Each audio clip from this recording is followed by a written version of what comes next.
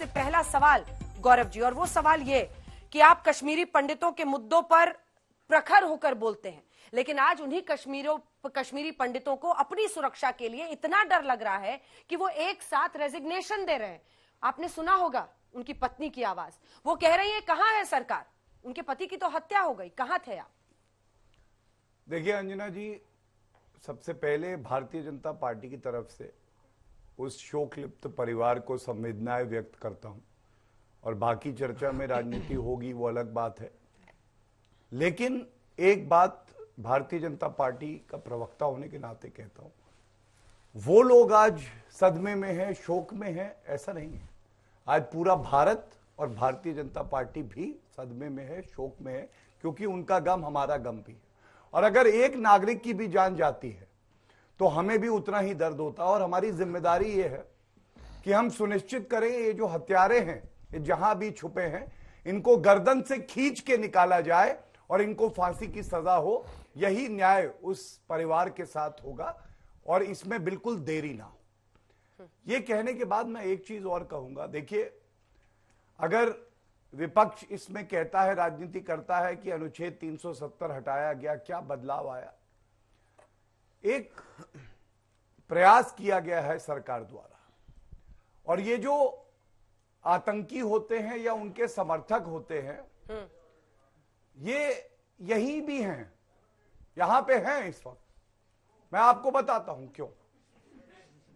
नहीं हंसूँगा इसलिए नहीं और कोई चर्चा का विषय होता ज़रूर मैं कहता कि देखिए उजागर कर रहा हूँ। बहुत दर्द से और पीड़ा से कह रहा हूँ। सबसे पहले देखिए, ये यासीन मलिक की एक तस्वीर लाया। ये यासीन मलिक की तस्वीर क्या दिखाती है? बहुत आसान है ये पूछना कि आपने क्या किया। ये प्रधानमंत्री आवास के अंदर प्रधानमंत्री से हाथ मिला रहा है। इसने चार एयरफोर्स ऑफिसर्स जो थे, उनकी हत्या करी थी। आज जेल की सलाखों के पीछे। अनुच्छेद 370 लगने के बाद जब हमने हटाया उसे तो स्टोन पेल्टिंग में अट्ठानवे प्रतिशत की कमी आई है। जो टेररिस्ट अटैक हुए उसमें करीब तिरसठ प्रतिशत की कमी आई है। लेकिन अंजना जी, ये बात सबके मन में होगी कि वो दिन कब आएगा जब एक भी एक भी नागरिक मारा नहीं जाएगा। उसके लिए ही हमारा दृढ़ संकल्प है। और मैं बड़े दर्द से कहता हूँ कि एक नागरिक की जान गई है ये बहुत ज़्यादा है। और इसकी पूरी ज़िम्मेदारी ये पूरी ज़िम्मेदारी अगर किसी को लेनी चाहिए हमें लेनी चाहिए। कार्यरत रहेंगे प्रयासरत रहेंगे आतंकवादियों को ढेर करेंगे और जो इस तरह से गोली चलाता है कसम हमें भारत माँ की उसको फांसी की सजा ज़रूर दिलवाएँगे ये ज़रूर सच्चे दिल से मैं सतीश मालदार साहब सतीश मालदार साहब क्यों कश्मीरी पंडितों की हत्या हो रही है? ये ये सिलसिला है अब पिछले दिनों हमने देखा है। देखिए सबसे पहले दुर्भाग्य वाली बात यह है जो पाटिल जी ने कहा भारतीय जनता पार्टी जी के। हाँ, जब माइनॉरिटीज की बात हम करते हैं कश्मीर में हाँ, भारतीय जनता पार्टी के कोई भी लोग वहाँ पर उनसे मिलने नहीं आता है। यह हकीकत है।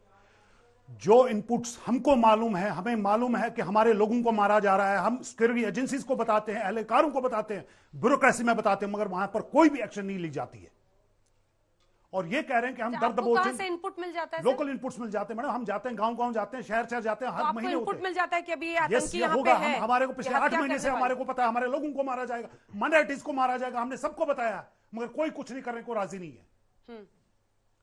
पुलिस कुछ नहीं करती कुछ नहीं कर रही है मैडम। आपने कौन से थाने में जाकर रिपोर्ट दर्ज कराई? चलिए जितने भी नहीं नहीं आप बड़ी गंभीर बात बोल रहे हैं। हाँ जी, आपने हाँ। कौन से थाने में जाके दर्ज कराई हमने जितने भी जितने भी सीनियर बंदे हैं एफआईआर दर्ज कराई कहीं पे। एफ़ नहीं दरवाज के इनपुट जो हमारे को लोकल प्लीज़ जितने आप- लोकल इनपुट्स politician हैं हैं, हैं। चाय नाश्ते पर थोड़ी बात होती है कि फला जाएगा आतंकी कल मारेगा आपको एफआईआर दर्ज करानी चाहिए ना अगर आपके पास कोई स्ट्रांग इनपुट है तो।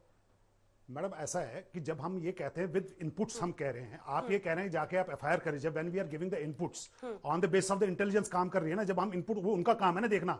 हम तो इनपुट ही दे सकते हैं ना।